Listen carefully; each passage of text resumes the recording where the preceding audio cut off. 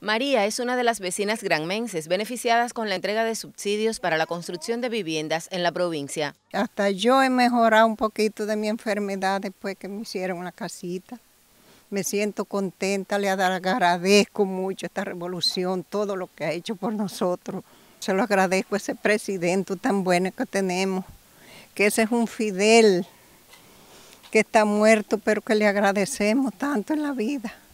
Cifras millonarias destina el país cada año al programa estatal que mejora paulatinamente la situación de la vivienda por subsidio y con esfuerzo propio. Se me mojaba la casa, a veces no, no podíamos acostar porque tenía que ponerle nylon y bañito. Y gracias le doy a Dios que Fidel puso esa ley para poder ayudar a los necesitados. El municipio serrano de Guisa destaca por el aporte cederista en la movilización cotidiana.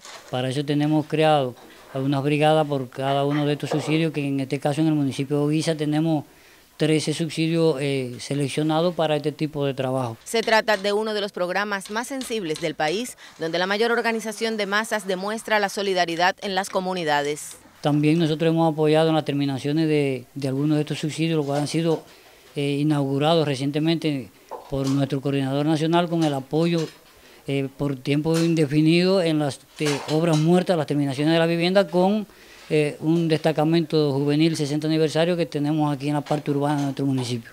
El aporte de Granma a este programa de la Revolución también hizo posible que la provincia fuera merecedora de los festejos nacionales por el aniversario 59 de la creación de los CDR.